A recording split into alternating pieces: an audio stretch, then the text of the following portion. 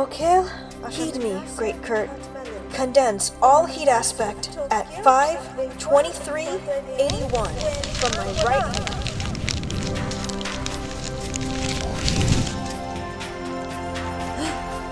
Papa!